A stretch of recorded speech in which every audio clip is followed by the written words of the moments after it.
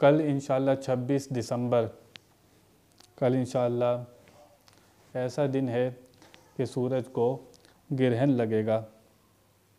اور حضور اکرم صلی اللہ تعالی علیہ وسلم نے اس طرف بھی تعلیم فرمائی۔ حدیث مبارکہ موجود۔ فرمایا، سورج گرہن اور چاند گہن، یہ اللہ پاک کی قدرت کی نشانیاں ہیں۔ ان کو اللہ تعالی نے اپنی نشانیاں فرمایا۔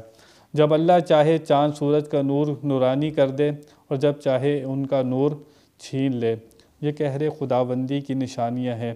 اس لیے حدیث پاک میں فرمایا گیا، جب تم یہ گہن دیکھو تو اللہ کا ذکر کرو۔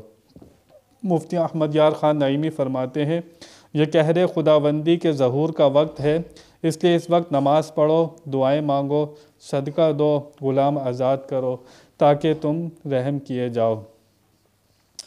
یہ ایسا وقت نہیں ہے کہ انسان کھیل تماشوں میں مصروف رہے۔ نہیں، فرمایا یہ اللہ کی نشانیوں میں سے ایک نشانی ہے کہ وہ دکھاتا ہے کہ جو اتنا سورج روشن ہے، اللہ جب چاہے اس کو بھی بے نور کر دے، اس کا نورانی پن بھی ختم کر دے۔ اللہ کی قدرت سے کوئی چیز باہر نہیں ہے۔ تو حضور اکرم صلی اللہ تعالی علیہ وسلم کا طریقہ تھا، آپ نماز کسوف پڑھا کرتے تھے، وہ آپ نے تعلیم بھی فرمائی۔ وہ اس موقع پر نماز کسوف پڑھنی چاہیے۔ جماعت کے ساتھ مسجد میں بھی آپ پڑھیں یا گھر میں اکیلے پڑھیں اور دو رکعتیں ہوتی ہیں یہ۔ پہلی رکعت میں سورہ بقرہ کی تلاوت کی جائے، دوسری رکعت میں سورہ آل عمران کی تلاوت کی جائے۔ جب تک سورج گہن رہے، اس وقت تک انسان استغفار کرے، دعائیں مانگے اور نماز کے اندر اپنے وقت کو لگائے۔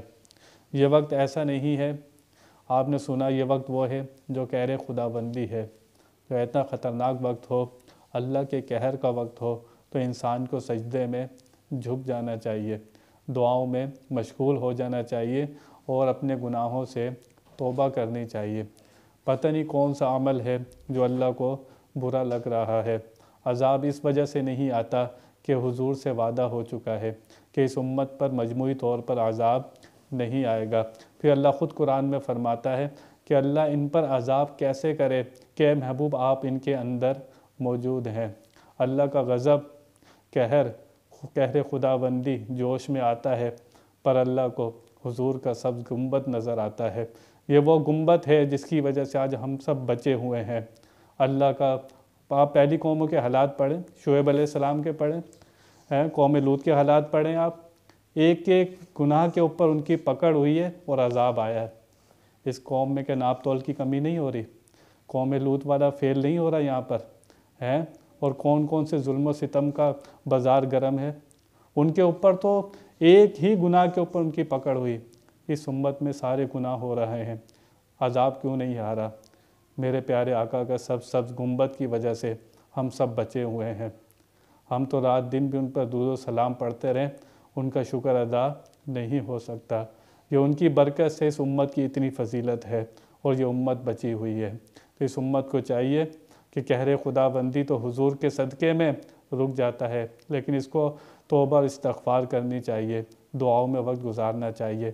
یہ دن کھیل تماشے کا نہیں ہے، سجدوں اور سجود کا دن ہے۔